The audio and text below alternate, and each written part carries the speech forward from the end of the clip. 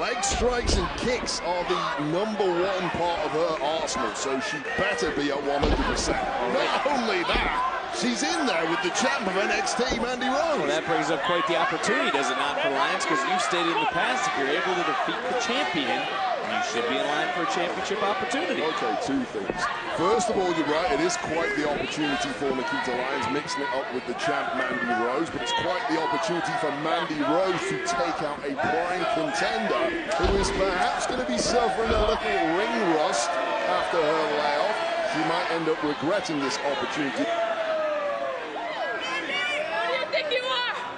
You are nobody! Here Mandy Rose again talking down to Nikkita Lyons. Rose seems a little more edgy than normal. It's no surprise that Mandy Rose needs eyes on the back of her head at all times. Can't relax. People taking shots at her. So much on her plate. Nail salons, hair appointments, red carpets. Oh! oh. Might have to put the doctor on that visit as well because right now Nikkita Lyons is striking anything that moves.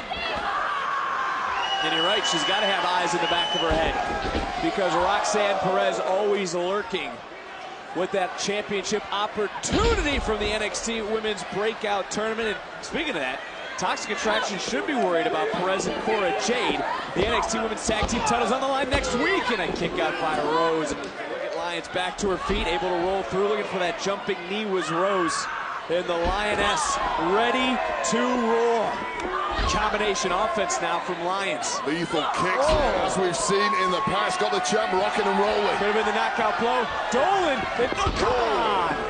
This is what I was talking about, cutting corners. Great strategy from Toxic Attraction. Unreal. Numbers advantage, of course, in favor of Toxic Attraction. You have to admire the loyalty of Gigi and Jacy.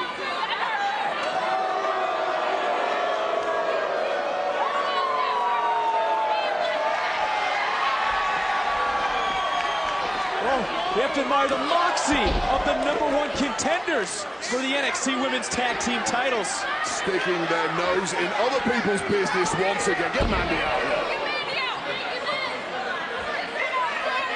Next week, the NXT Women's Tag Team titles will be on the line. Dolan, Jayne taking on Perez and Cora Jade.